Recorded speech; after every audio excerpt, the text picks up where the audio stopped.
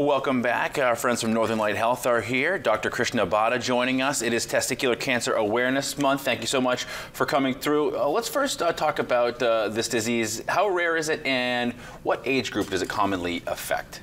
So it is rare. It's 1% of all the men's cancer, but it is the most common cancer between 15 and 35 or 15 and 40 years of age.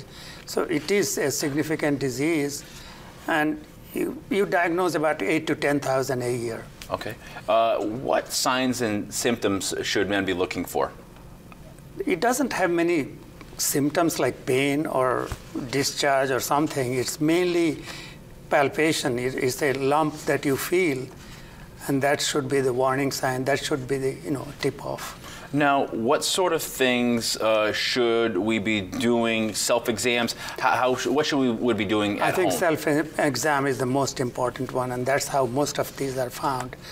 Uh, self exam every month, maybe after shower when there is you know laxity there. That that is the what we should do.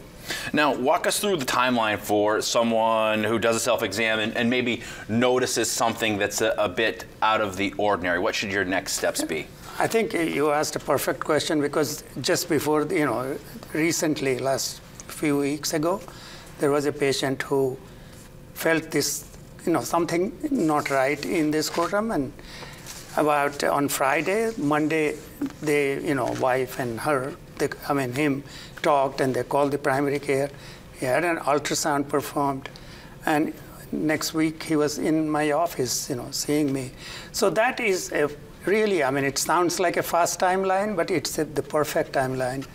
And then he ended up having surgery after a week, um, and it was cancer. So this is, you know, when you notice it, don't wait. Now, it would seem to me to be the sort of thing that you need to let shyness or things like that go by the wayside because you, you can't urgency would seem to be better to uh, talk to you and have it be nothing than the other way around brian you know 95% cure rate in a way if you detect it early things go downhill if you know if it is advanced so the earlier you detect the earlier you seek help, the better it is. Absolutely. Now, if people have questions or they want to speak to an expert, northernlighthealth.org's got answers like that?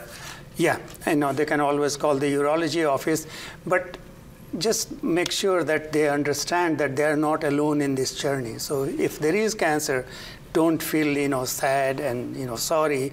There is a lot of help. You know, it's a collective journey uh, where doctors are there. You you guys are helping. Yep and you know the family helps. So just make it a collective journey rather than a you know just a lonely feeling or something. So to sum it all up, after you take a shower, do a little. Is there a particular age when you should really start to do that? Yeah, teenage. I mean, it's like 15, 12. I mean, that's when you should start the habit of doing. Sure, just to make it a habit, and if you see something, say something. It's like it's true. See something, say something. And everything. All right, and NorthernLightHealth.org. Dr. Bhatta, thank you so much for coming through uh, during this Testicular Cancer Awareness Month. If you want this information, again, you can head to our website, wabi.tv. Back with the forecast right after this.